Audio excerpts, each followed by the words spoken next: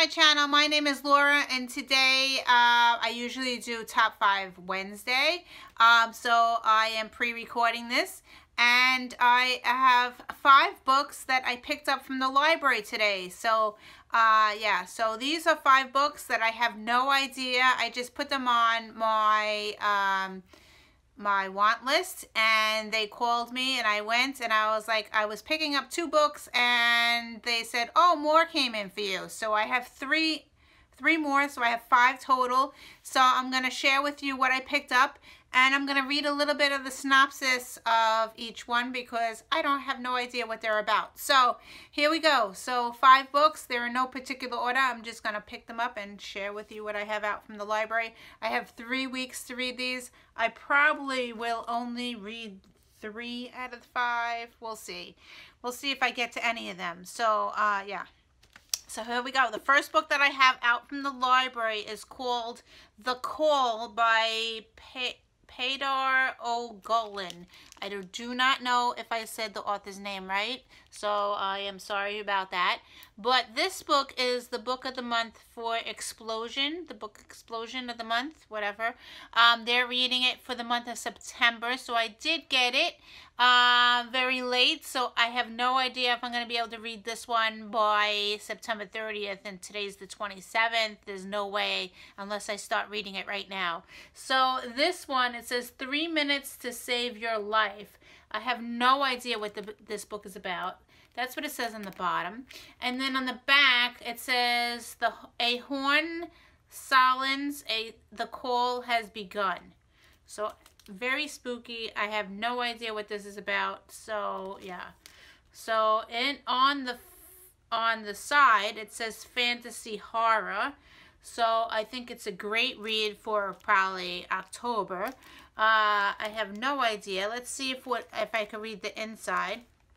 It says, and I can't see because to have to wear my glasses. Yeah, I can't read. okay. Three minutes. You wake up alone in a horrible land. A horn sounds. The call has begun. Two minutes. The scythe are close. They're the most beautiful and terrible people you've ever seen and you've seen and they've seen you. One minute. Nessa will be called soon. No one thinks she has any chance to survive, but she's determined to prove them wrong. Time's up. Could you survive the call? have no idea what this book is about. I just read exactly what this says here. Uh, so I am going to into this book blindly if I if I read it. So yeah, nothing else. There's no other synopsis. So yeah, I'm taking my glasses off. There's no other synopsis, so this, uh, we'll see if I even like it. I will maybe read the first chapter and uh, see if I will continue on. Okay, the next book is another creepy book that I wanted to read for the month of October. I do not own these books, so that's why I have them out from the library. Uh, the next book is Daughters Unto Devils uh, by Amy Lukavics. Uh, I have no idea if I said the author's name right or not, but here we go. So this looks like a creepy book. And the top it says, uh, imagine Stephen King writing Little House in the Prairie. So that seems pretty interesting. And I'm going to read a little bit of the back. Okay. There comes a sound from somewhere in the pitch dark behind me, lacing itself into the air along with the propping embers of the fire. At first, I think I'm imagining it, but as my heart continues to pound, it only gets louder. It is the sound of an infant crying, and it is coming from the inside of the cabin. So that sounds pretty interesting. So this one sounds more interesting than the other book. So, uh, yeah, it says, and then there's little blurbs on the bottom. It says, deeply disturbing, truly riveting, and highly recommended. Imagine Stephen King writing like Little House on the Prairie. I said that before. And you'll get the chilling, mind-bending auras of Amy uh, hunting, haunting and powerful debut novel. So this is her debut novel. Dark, dangerous, and creepily atmospheric. Daughters Unto Devils will haunt you long after you've read the last page. This is a classic horror at its best. Daughters Unto Devils is basically Little House, Little Hell House on the Prairie. A great look at how tough our pioneer forefathers had it with all the car carnivorous ants, man-eating pigs, lonesome winters, and ancient forces of unthinkable evil that had to deal with. So, yeah, seems very interesting and very spooky. So, yeah, this one I might read. so, yeah, so that's that one. Okay, the next one, um, as far as I know, those two were YA. So, as far as I know. Okay, the next book that I have here is a, an adult book, and it is fiction, and it is called Shelter by Jung Yun, and I really love the the cover. It's really, really pretty. Look how pretty that is. So, I have no idea what this one's about, so I'm going to read a little bit of the back. Um, okay, here's my glasses. Okay, Shelter is poignant, spellbinding, and profound. In her brilliant debut novel, another debut, uh, Yun skillfully entangles this snarled web of family lies, tragedy, tragedy, identity, and loss. Redemption is hard-earned and kindness comes in rare and unexpected places. But hope shimmers just beneath the surface. This is a book of heartbreaking genius.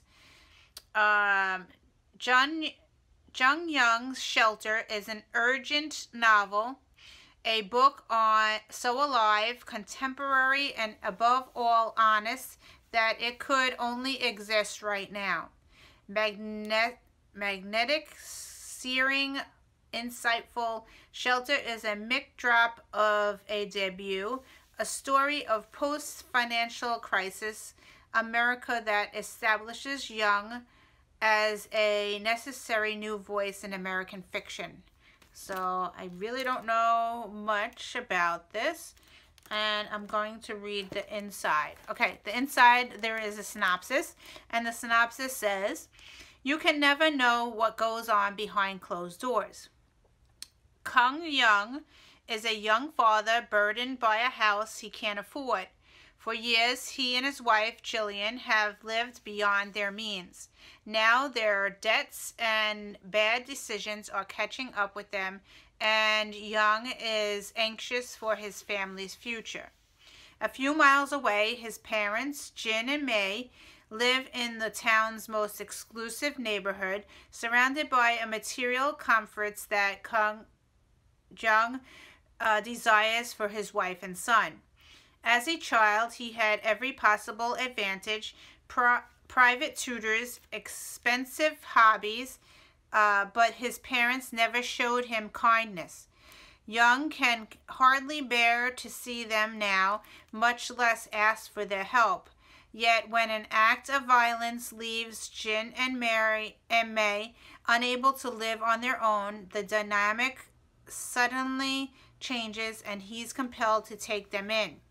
For the first time in years, the chaos find themselves living under the same roof. Tensions quietly, oh, quickly move, mount as Young's prom, proximity to his parents forces old feelings of guilt and anger to the surface, along with the terrible and persistent question, how can he ever be a good husband, father, and son when he never knew affection as a child? So this sounds really interesting. So uh, yeah, I might write this one. This is an adult book and this sounds very interesting. So um, yeah, so that's that one. Okay, book number four is Ruined by Amy Tintera, and it looks like this. This is a YA book, um, and it says, Picked with, packed with action, intrigue, and romance. I was holding on for dear life until the very last page, and that was quoted by Kiera Cass, who wrote the selection series. So it says, keep your enemies close.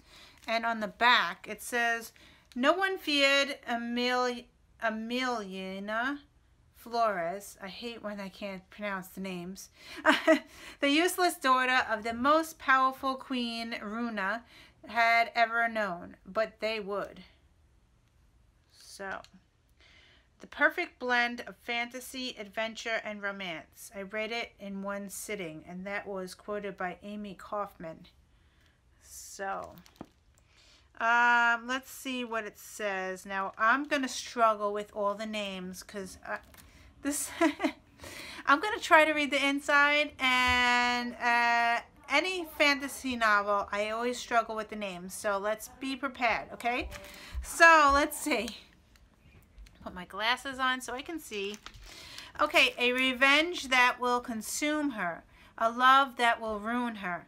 Emil Emelina Flores has nothing. Her home in Ruina has been ravaged by war. She lacks the powers of her fellow ruined. Worst of all, she witnessed her parents' brutal murders and watched helplessly as her sister Olivia was kidnapped. But because Em has nothing, she has nothing to lose. Driven by a blind desire for revenge, Em sets off on a dangerous journey, journey to the enemy kingdom of Lyra. Somewhere within Lyra's borders, Em hopes to find Olivia, but in order to find her, Em must infiltrate the royal family. In a brilliant, elaborate plan of deception and murder, Em marries Prince Casimir, next in line to take Lyra's throne. If anyone in Lyra discovers Em is not Casimir's true betrothed, Em will be executed on the spot but it's the only way to salvage Em's kingdom and what is left of her family. M is determined to succeed, but the closer she gets to the prince, the more she questions her mission. Em's rage-filled heart begins to soften, but with her life and her family on the line, love could be Em's deadliest mistake. So it sounds pretty interesting, except for the names. So yeah, uh, so there's this one.